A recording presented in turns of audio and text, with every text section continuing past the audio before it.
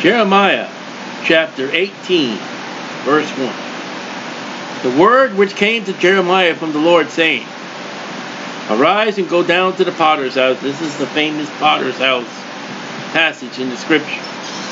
And what God is doing is He's providing us, Jeremiah, the people of Judah, an illustration. An illustration is like a sower went out and sowed some seed. Parables, actual stories. And what God is doing is through, through the prophets He has in the Old Testament. I mean, sometimes He calls them to do some weird things.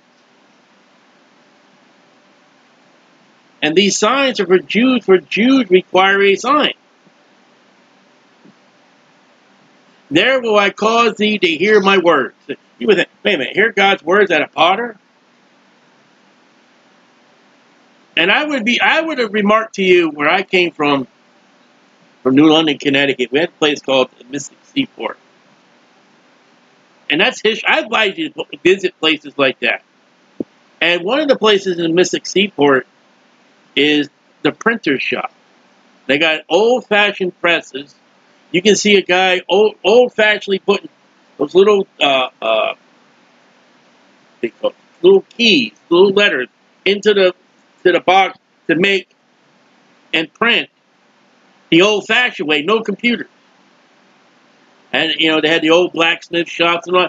And I, I call you to go wherever you can find one in your area to visit these places and see how it's done. If you got somebody who, who makes pottery, or you know a place where they make the old-fashioned ways of making pottery, go there. And for the first thing, say, listen, you know what? This is the kind of place that God called Jeremiah. And let me just sit there and watch. Maybe ask some questions. But be, be willing more to watch. And then maybe God will speak to you what you witness and what the Bible says. I've been, never been to a potter shop. Like I said, I've been to the old-fashioned printing. That taught me some things from the Bible. That gave me a love and respect for the Bible. You know what? The old-fashioned Bibles, it took forever for one section of the Bible to be actually fully printed into pages layout, and then cleaning all the tiles, taking everything down, breaking everything down, and getting ready for the next page. So, hear my words at a potter's shop. Then I went down to the potter's house, and it would be his house. Back then, was, the potter's house would be the potter's house. The blacksmith shop would be his house.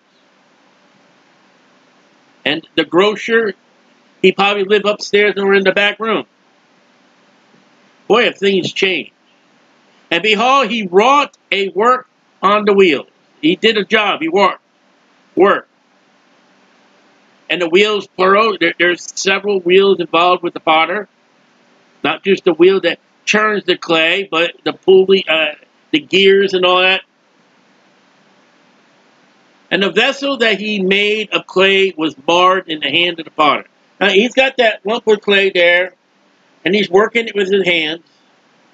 And the work of pottery, of the clay, it could have had a stone in it. It could have had a stick. It could have had a dry piece of clay. It could have got too hot. It could have got too cold. It may be at fault of the clay. It may be fault of the wheels. It may be at fault even the even of the, the potter with his hand.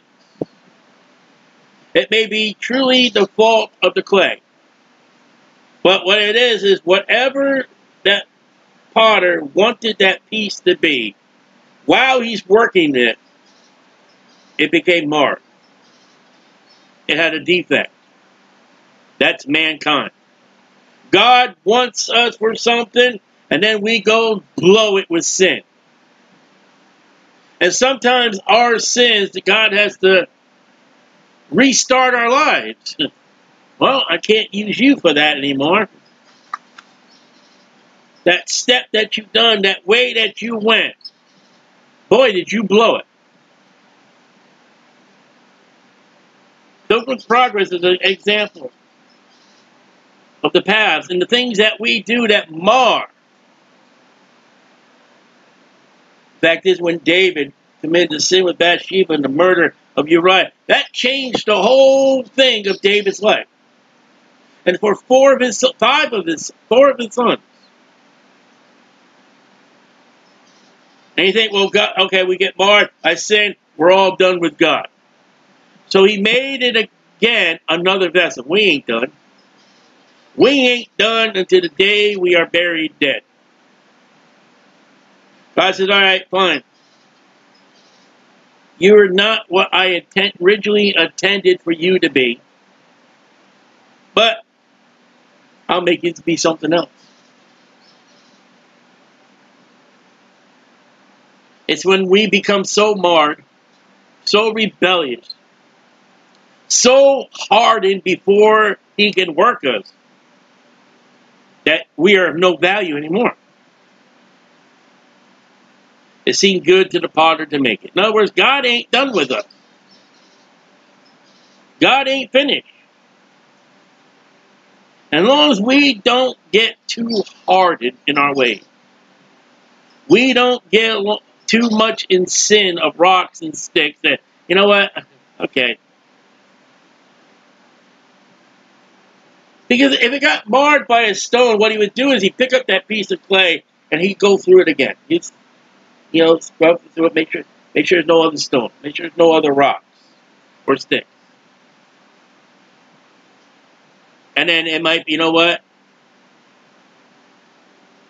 Whatever you had to do, maybe, you know what, I can't make that again. I lost sight of what I'm going to do. I'll make something else. And the word of the Lord came unto me, saying, Here's, here's the word, here are my words. O house of Israel, can I, I do with you as this part? Yes, he can, saith the Lord. Behold, the clay is in the potter's hand. So are ye in my hand, O house of Israel. Now, I know this is written to the house of Israel. There it is, plain and simple. But you can spiritualize it for the Christian. Now, it wouldn't be doctrinally for the Christian, but you can you can open up this passage and say, yes, the house of Israel. But what about the Christian? Aren't we not pottery? Are we not clay? Is not God our maker? And the relative fact is, doctrinally and, and historically, this is written to the children of Israel, ch children of Judah. And my message today, I like to just let's look at it in the way of the Christian. At what instant I shall speak concerning a nation, concerning a kingdom, to pluck it up, to pull it down, and destroy it. You know, God's long suffering, that's not what he wants to do. But it's the wages of sin that's death, that, that causes death, not God. God is long suffering. God's not willing that any should perish. God wants to bless. Sin destroys. If that nation against whom I pronounce turn from their evil, turn, see, repent, I will repent of the evil I thought to do. If Judah and Israel will only get right and turn, and listen, you can't say, oh, I'm sorry for the Queen of Heaven, and then go back and bake her cookies.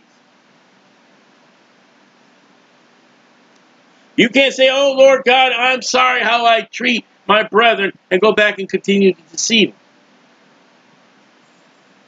Oh, God, I'm sorry, I'm, a, I'm an unrighteous judge, and when you stand on the bench, you don't give the rights to the, to the uh, homeless and to the widows and the fatherless. A turning of repentance is you turn from your evil. And if you do the evil, because we all got that sin, that evil, that sin that you do, it bothers you. And the moment that, you know, we, the Bible does say that sin has that pleasure. And that moment that we involved ourselves in the pleasure of our sins for that moment, and then the moment when we're finished, it brings guilt and it brings shame. And maybe tears and woe and misery that I sinned against God. You know, people criticize the Christian. Oh, you believe once saved, always saved, and you can go out and murder somebody and still be saved. I've never thought about murdering anybody since I've been saved. That hasn't been in my thoughts. It's in your thoughts, I'm saved. And God says, I will repent. It says, turn from your evil. That's repenting. God says, I will repent from the evil. From the evil I thought I would do. What is repenting? God says, all right, if you get right and you deal with the evil that you've done, then I'll get rid of the evil I will do to you. God says, if you get right and you repent, I will repent and I'll turn away what I'm, I'm going to do to you. I'll tell the Babylonian army to go home. I'll comfort them that comfort you. I, I, I will treat you how you treat others. And if you repent of your evil and you turn from your evil, I will do the same thing God says. And at what instant shall I speak concerning a nation, again, and concerning a kingdom, to build and to plant it, that's much different from verse 7. Verse 7 is destroy. Verse 9 is to build, keep up, satisfy. And it's all the reaction not of the evil, wicked God. It's all based upon the sinner and his conduct to his sin. You know, I know somebody who sinned against God. And I didn't know about it. No one knew about well, the people involved knew. You know, I look at his pictures, and I see his pictures. You know, he was just getting an evil face.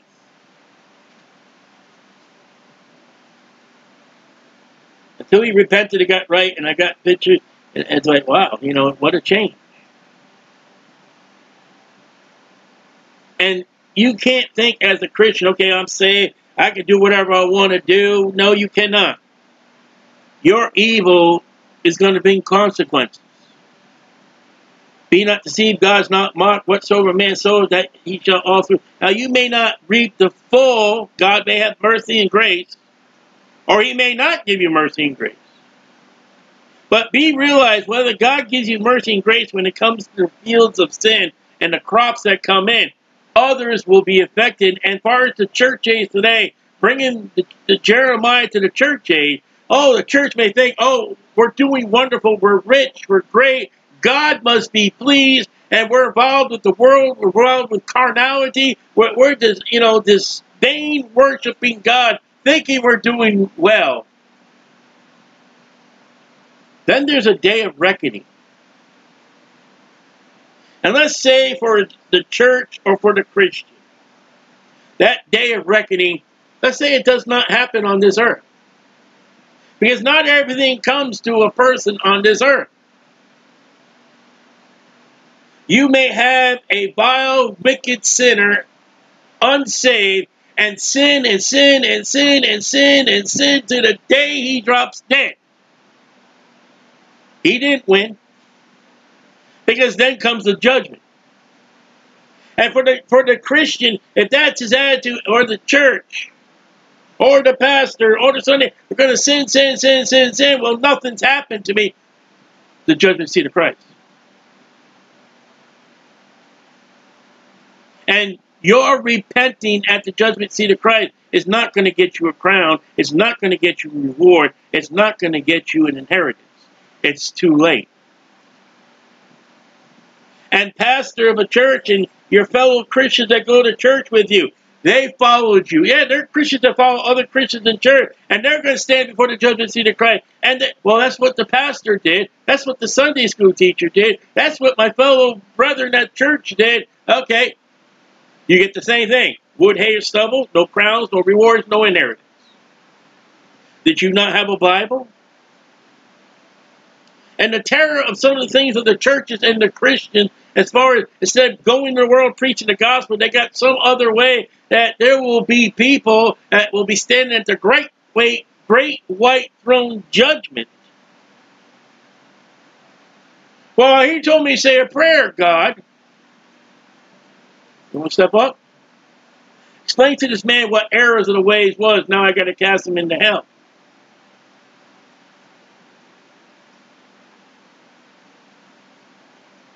And God wants us to repent of that evil, make things right, and do things right. He doesn't want us to continue our sins. And as far as the church age, the Revelation chapter 3 is Jesus Christ has stepped out of the church and he's knocking on the door of the church. In the days of Noah, God said to Noah and his family, the eight members of that family, come in with me to the ark. And God shut the door with them inside with God. The church age, God is outside. And he's saying, come on out. Man, if that's the church age, you can't apply as the days of Noah, so is the days of the church age. You're misapplicating the scriptures. That days of Noah and the days of Lot, that's coming to the end of the tribulation period, not the church age.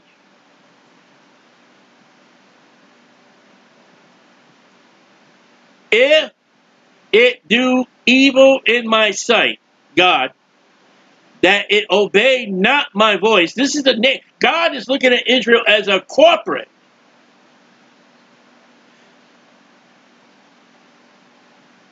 Then I will repent of the good wherewith I said I will benefit them. You see that? There's a repentance of good. There's God say, okay, I'm not doing no good. Because they're not doing no good. And the people that say, well, God hates the sin and loves the sinner, it's your conduct of what you do with your sin. Now, listen, if you sin a sin, and everybody has got that one sin or two sins in our lives, and we sin that sin, and if our attitude is we don't want to do it, and okay, yeah, purposely we do that sin, or we sin by accident, or we struggle with that sin.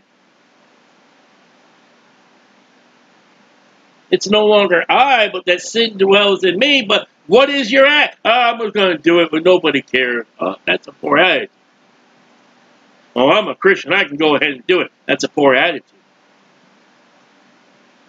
And whether you committed that sin or you want that sin or you're strong with that sin and you go before God and say, God, I don't want to do it. Or God, I do want to do it. Or God, I did it and I'm sorry I've done it. That reaction is going to be what we want with our sin and how we dwelt with our sin is how God deals with us. And the churches are going to have some very serious problems with that aspect is they want to do what they want to do and it's sin. But the devil is deceiving thinking they're doing right. And I know a case where I have been used in some churches. Go in that church and tell them they're wrong and have those churches get mad at me and they, okay, fine.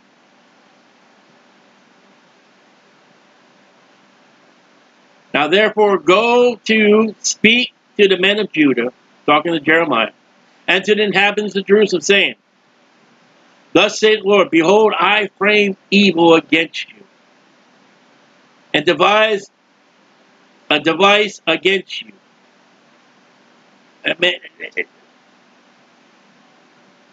Judgment's coming. Sowing is coming. Return ye now, return. Come back, will you? Will you get right? Everyone from his evil way and make your ways and your doings good. And the aspect is Judah has set a course from the time that they came out of Egypt. And God had explained to them all the ways, and he wrote them down. And he gave them Moses, he gave them Aaron, he gave them prophets, he gave them the way, guidance.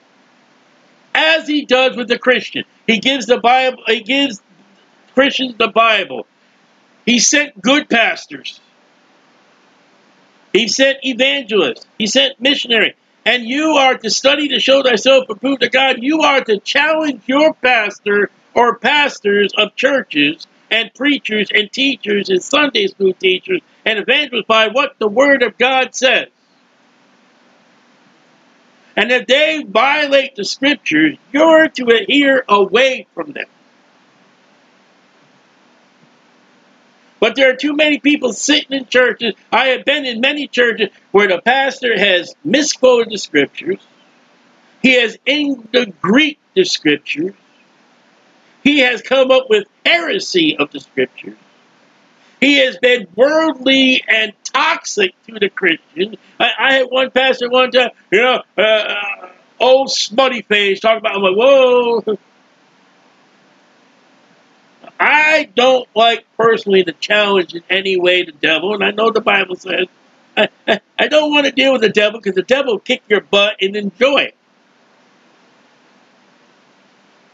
And I just I've seen carnal preachers, I've seen carnal teachers, and uh, they disrupt the teaching, they, they they pervert it, and they deceive, and no one in the church raises a ruckus. And I've left many churches because of the ruckus. I sat with one preacher, almost wanting to kick me out, almost like pleading to me, will you please leave? Okay.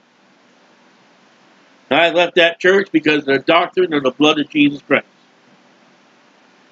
I left another church on, on the principle of uh, John chapter 14. He quoted that verse and he didn't say mansion.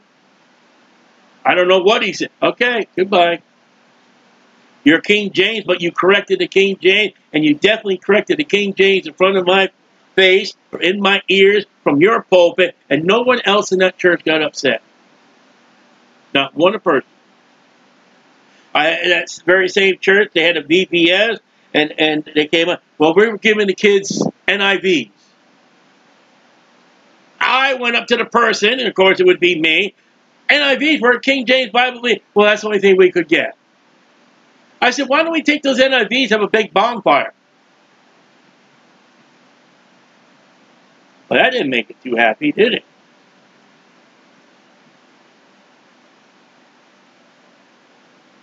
It's doing wrong and going against doing wrong to do right. And he said, there, and they said, there is no hope, but Jesus Christ is the hope but we will walk after our own devices. We don't care what God says. We don't care what God's going to do. We're going to do it our way. And we will, everyone, do the imagination of his evil. Now, look what they're saying. Look at the words. That's from God. God told Jeremiah, this is what they're going to say. And I don't think God's a liar because God cannot, will not, is unable to tell a lie. Israel, Judah is going to say, but we don't have any hope. Where God's their hope. And we're going to do what we devised to do. And we're going to follow our heart and let the leading of our heart. And then we read in Jeremiah 17, the heart is wicked above all things. Who can know it? Jesus said, out of the heart is murders, adulteries, fornication, Sin, sin, sin, sin. Paul says out of the flesh comes the same thing. That word and the expression today, again, is we're going to let our heart lead us. And your heart will lead you against God. Your heart will be an enemy against God if you don't have that new birth. And even with the new birth, your saved soul, your heart can be deceived by the wrong Bible or no Bible, and can be deceived by a church, can be deceived by a teacher, can be deceived by a pastor, can be deceived by a YouTube ministry or a Facebook ministry or whatever ministry. You can be deceived by the devil because 2 Corinthians 11 says that there are men that are of Satan who pretend to be righteous workers. And I guarantee their hearts are not the heart of the good. Any church, any church that's involved with sodomites and approving of sodomites and marrying sodomites and hanging rainbow bearers of sodomites and allowing sodomites to come and associating themselves with sodomites and having sodomites as the members of their churches you are an enemy of the Bible. You are an enemy of God. Because God says that sodomy is an abomination. You've got an evil heart, an evil practice, an evil church, an evil ministries. And I said it. I don't care how I said it. It's the truth. Therefore, thus saith the Lord, ask ye now among the heathen, the Gentiles, you know, those dogs that Jonah said, I'm going the other way. Peter says, Oh, no, you didn't call me to go to the Gentile house.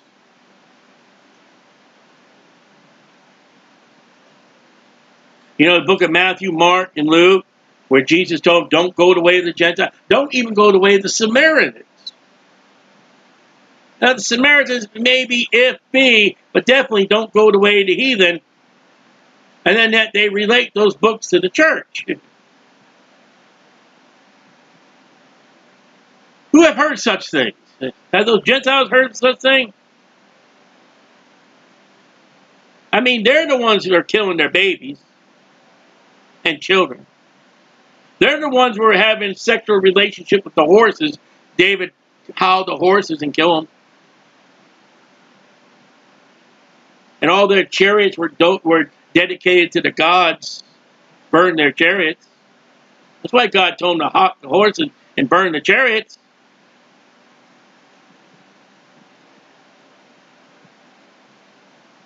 I mean, you know, in the Orient, I've been told that there are families that will take their daughters and say, how much will you give her to me? And they'll outright sell their daughters. That's Gentile. The Virgin of Israel has done a very, very horrible thing. She's no longer a virgin. She's committed adultery with the devil and the heathen. We'll see more of that in Jeremiah and Ezekiel. Will a man leave the snow of Lebanon, which cometh from the rock of the field? And shall the cold flowing waters that come from another place be forsaken? Hey, it's a hot day, it's a desert. You're going to leave that nice, cold, fresh, cold water you know, I don't know how cold it was, but David, he's in battle one time. Said, oh, if I could just have some of that water, that one well in Bethlehem where I grew up. I don't know what about that water. I don't know what the memories of that water. There's something about David saying, oh, if I could just have a little cup of water from that, from that well. And again, we're looking at this waters here. What is God pointing to? Jesus is at a well talking to a to a half-breed Jew who's of Jacob, he says, I'm the living waters. I don't know if that well was cold or not. Well, I tell you, Jesus is refreshed. He told that woman, if you drink a meal, you'll never thirst again spiritually. Because my people, that be the Jews, that's not Gentiles, that's not the church, because there is no church. My people have forsaken me. And you can spiritually apply that to the church, God's Christians today have forsaken him. In their mirth, in their music, their worship, in their service, and their activity.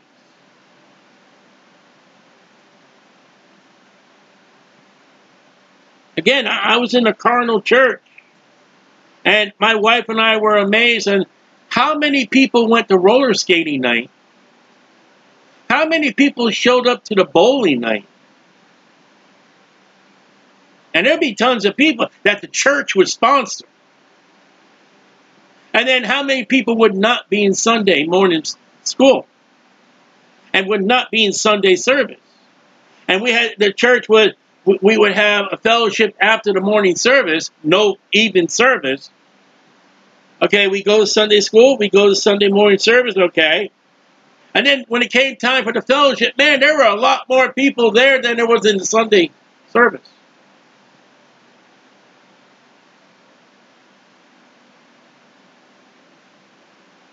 My people have forgotten me. The church is forgetting Jesus. When you stand up and do what the Bible that's not what Jesus would do. And I'd say, you are not a Bible studier. Who do you think you I know what I'm doing. Some people come up to me, you know, I got the beard and all that, and I'm preaching on the street. You don't know what you're doing. That's what they're saying so much. They'll come up to me, judge not, you should be judged. You're judging me. I got one guy, he's really angry at me. And some of them, they argue and say, listen, and they'll come up to, if they don't say it, they come to point, you don't know what you're talking about, you don't know what you're doing. I say, do you realize who you're talking to? No. I said, I'm doctor. I'm a doctor of theology. I've got my diploma at home. I have got let's see, I began I began studying the Word of God truly and honorably about the year 2000. I've got 21 years of studying the Bible. A little bit more even before that. A minimum of 21 years of studying the Bible, I'll tell. I read it every single year at least once. And not the fact is I've double read the Bible and triple read the Bible. One time for reading it through, one time for studying, and one time. I do believe God showed me what to do. They have burned incense to vanity, emptiness, nothing. Catholic Church, they burn that incense. When they come make their parade down the aisle, man, that's the worst smell I ever smelled in my life. Now, I have incense in the house. We burn it because we have a dog who has accidents. And we just burn it because, you know what? Sometimes it just stinks. You make the house smell better. That's not vanity.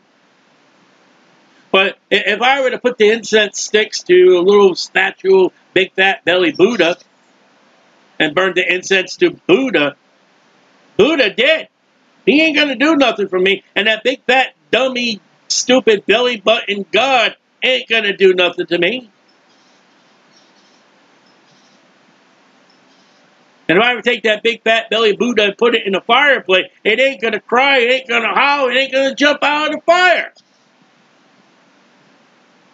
And there are people that burn that incense. I had an aunt that, that truly dedicated Catholic. She would burn that incense to Mary.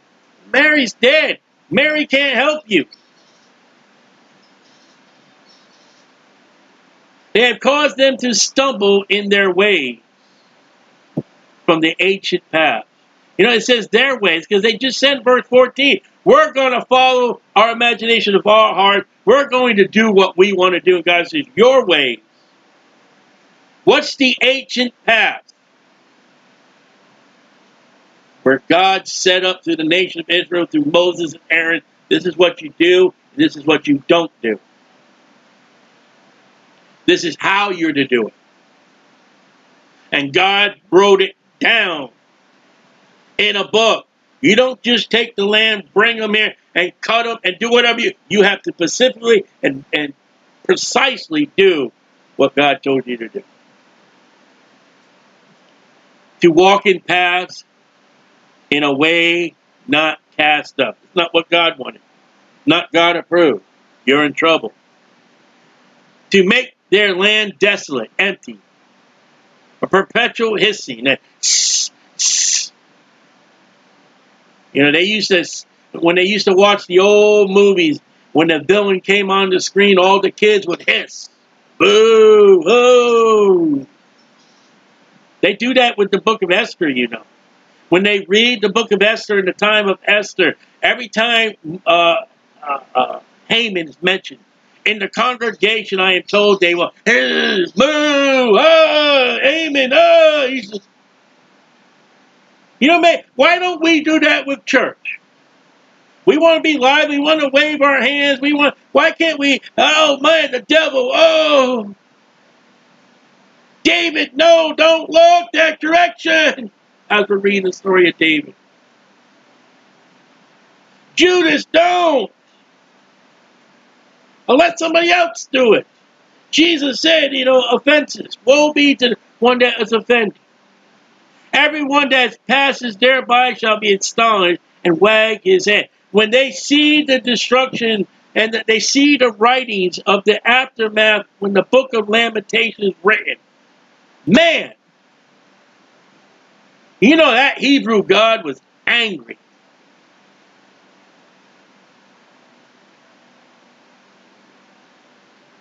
And wag their head. I can't believe, you know, wagging, I can't believe it. What a mess. I will scatter them with an east wind before their enemies. I will show them back, the back, not the face. In the day of their calamity. I won't even look at them. Then they shall say, then, yeah, then say they, come, now, this is a reaction. Come. Let come. That sounds good, doesn't it? And let us devise devices, hey, against Jeremiah. How have they taken the preaching of God through Jeremiah? Let's get them. Let's call 911 on him. Let's call the police on him. Let's have him arrested. Let's beat him up. Let's murder him. Let's torture him. Let's banish him. Let's have accusations against him. Let's ban the Bible. Let's de-church him. Let him not in our church no more. Let's move the, let's move his car of scripture don't listen to him. He doesn't know what he's talking about. I am the pastor of this church.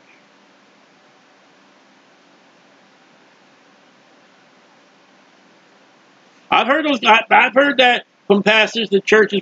Don't you listen? He don't know what he's talking about. You follow me, and you do well. Like Piper. For the law shall not perish from the priest, and the priest will be dead. And they don't even know who the priests are today. God's the only one that knows. What sacrifices are they doing today? Absolutely none. Nor console with the wise, nor the word from the prophet. They're going to do it their own way. We don't care what the Bible says. Come and let us smite him with the tongue. We're going to blabber against him. We're going to jabber against Jeremiah.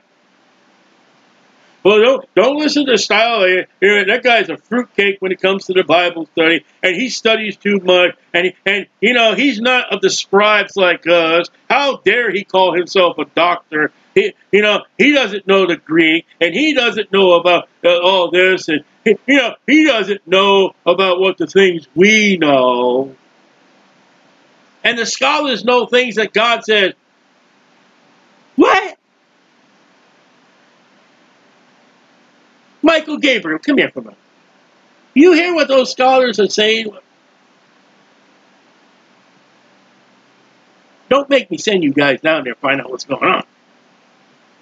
You know, there's a place that God says, Thus saith the Lord, and God says, I didn't say nothing.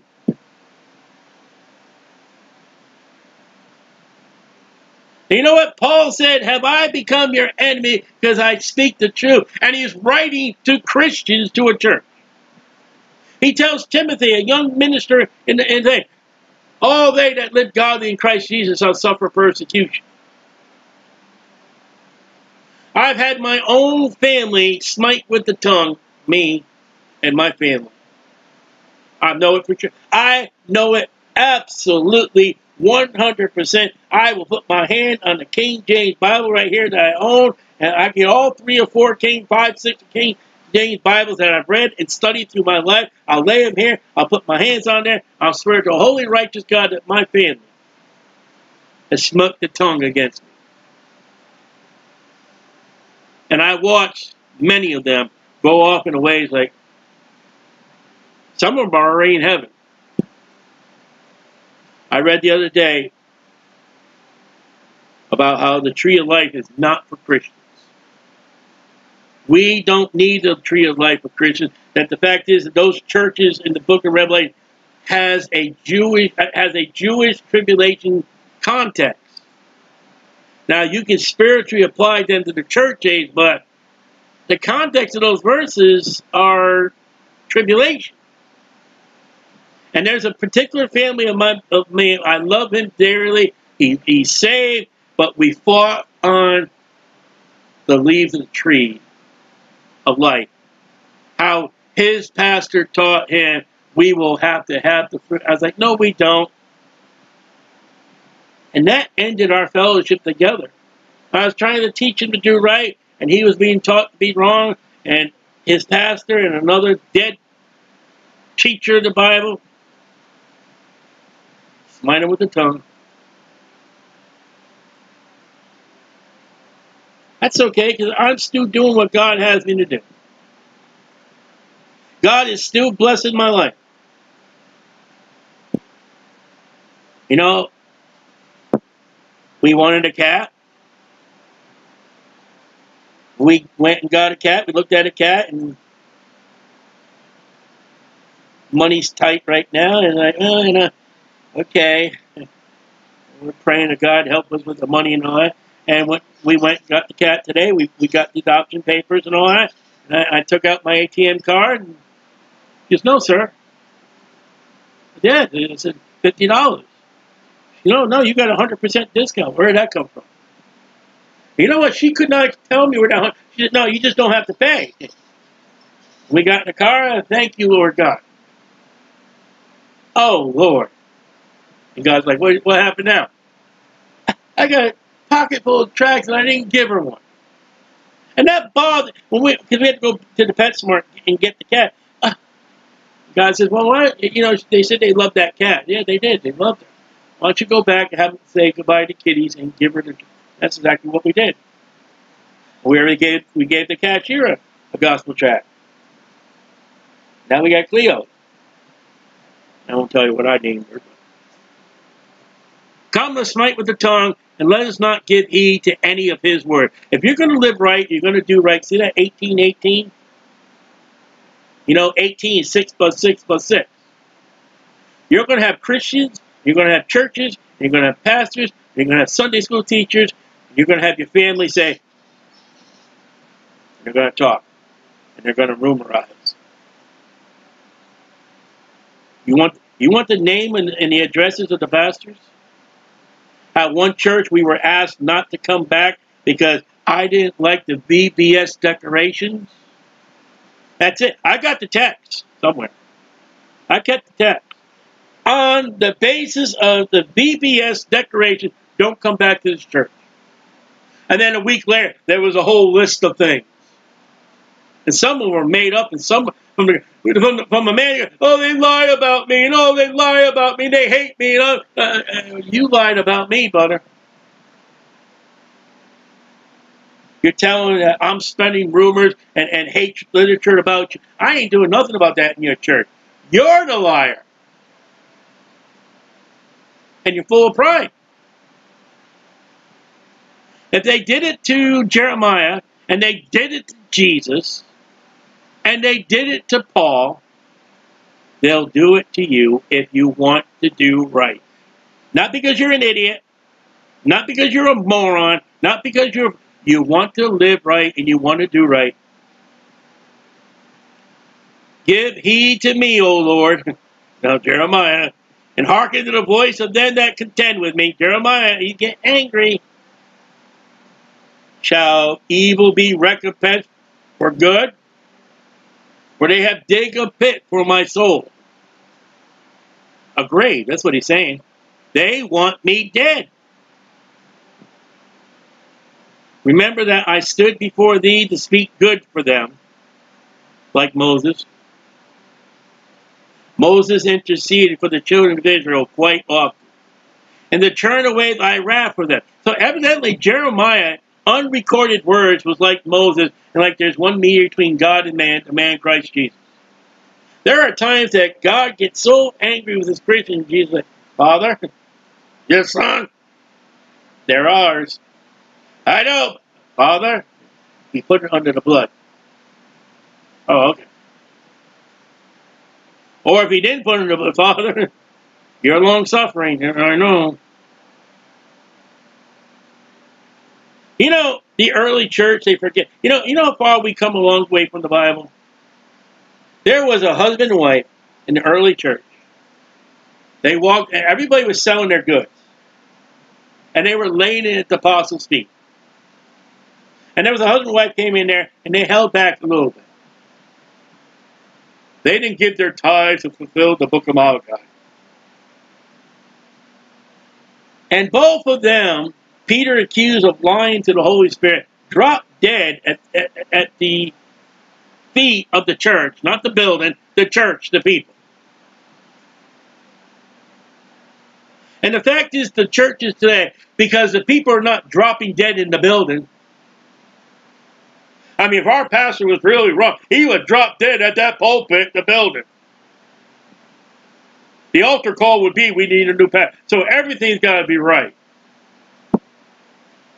So you're, what you're doing is you're looking for signs and wonders that go to the Jews. How do I know? Oh, there's earthquakes.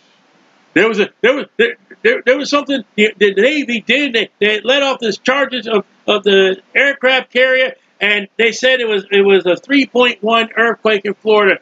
Jesus Christ is coming through. No, they did they did test by the Navy, and it was likened to an earthquake. It's Jesus is coming, but that's not the signs and wonders we're looking for. We're not looking for the signs and wonders in the book of Matthew. The Jews are in the tribulation period. Christians are looking for the blessed hope and no signs. They're gone. They're done. They're finished. And even you did have the signs of the Jew, you would have a church full of dead people, and the church was still continuing their sins. Because Jeremiah has a bunch of dead people and they're continuing their sins. How do you know? What happens in the book of Nehemiah? They're doing work on the Sabbath. That's what's going on now. They have married strange wives. That's what's going on now. Man don't learn. Therefore, deliver up their children to the famine. Oh, Jeremiah. Pour out their blood by the force of the sword. War. Let their wives be bereaved of their children. That's Jeremiah the prophet. And be widows. Let their men be put to death. Let the young man be slain by the sword of the battle. And what did Jesus come and do? Pray for your enemies.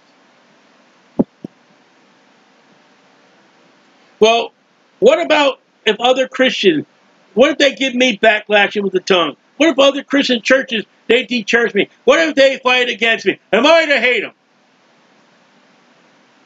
John said, who that loves his brother or his brethren is of the devil. I mean, even they fight against me? Love the brethren, for God is love. I have a man that hates me at the farmer's market. He's cussed me out, called me everything but white and happy. And I pray for that man's soul. I pray he gets right. I pray for his wife. I think she has some kind of issue. I don't even know his wife's name, but I pray for the man's wife. You say, well, you know, you pray for fire to come down. I pray fire comes down on his equipment. He's a DJ. I say, Lord God, turn off that equipment, blow up that equipment for that man's soul. Listen, the DJs we've had against us, I pray for their souls. They're in my prayer list for their soul. I say, Lord, you know what? I don't like them here because they're interrupting the preaching of the gospel. Lord God, give them another assignment on Saturday so they can't be here on Saturday. And I pray for their soul. And you know, a lot of them, a lot of them DJs have been given other jobs elsewhere. We met one of them. He was at another. He was at another flea market. He goes, "Man, I'm happy here." And we've given them gospel tracts and and. Well, do you pray for their destruction? Only their equipment, not their souls. I want to see them get saved. I want to see those DJs when we're in New Jerusalem say, "Hey, you know, I'm no, you don't have to say sorry for nothing. Let's go up and praise the Lord together in holy worship without sin music." Amen. And while we're walking Jesus praise let me hear that gospel you used to preach. Hey.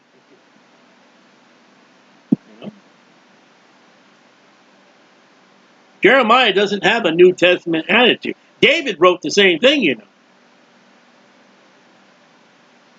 So it came strange for Jesus to say, love your enemy.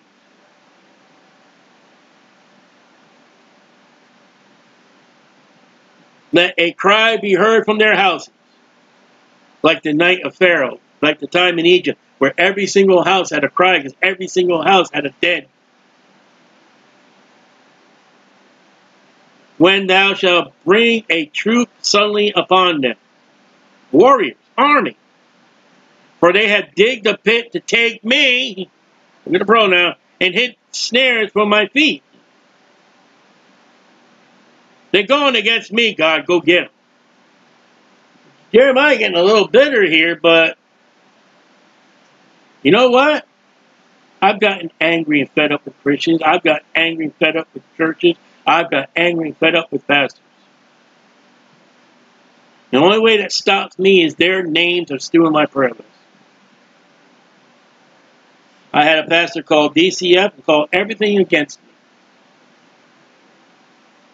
And DCF came and stood before us, the, the entire crew that was involved. Said, well, uh, let me let me quote the scripture. We don't find any fault with it. We found one little fault, and they're, they're going to correct it. They can correct it. That pastor uh, went and told everyone I was involved in gross, disgusting I don't even know what it was. Gross, disgusting sin. And you know what's amazing? The pastor that told me that that pastor was saying stuff about me that were lies does not allow me in his church, but he allows the other pastor who was a liar into his church for his revival. He, that pastor knew about the other pastor was a downright liar and he still, still allows that evangelist now in his church. He still has.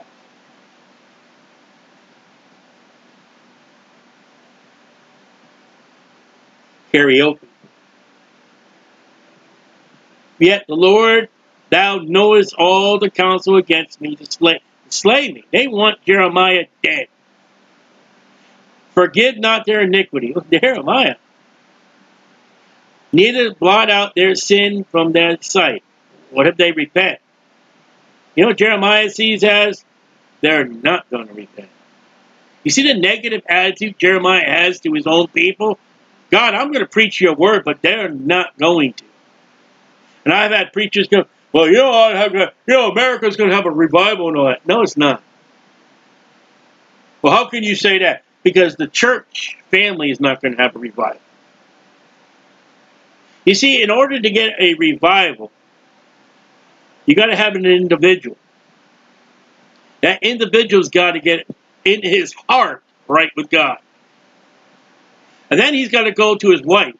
And he is him and his wife as a married couple Christ has to get right in their heart while she gets right with her heart.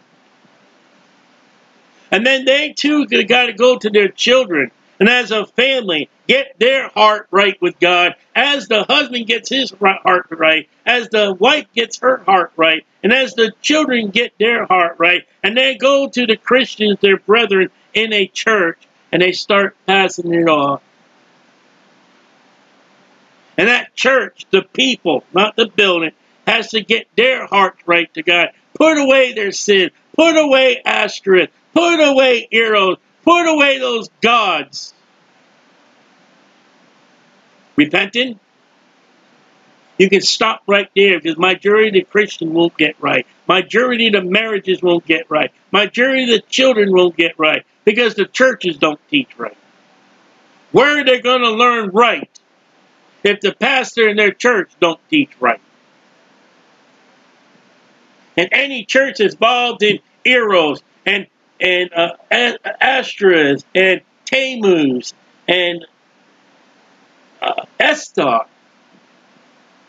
you're not right. Absolutely not right. So you're not going to be right, and you're not going to be. Listen, uh, God's going to have a revival with you, with Satan in the front row, amen, in the preacher. That's not going to happen. Never mind America.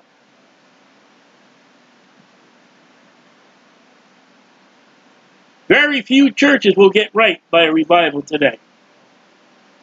Why out their sin from thy sight, but let them be overthrown before thee. Deal thus with them in the time of their anger.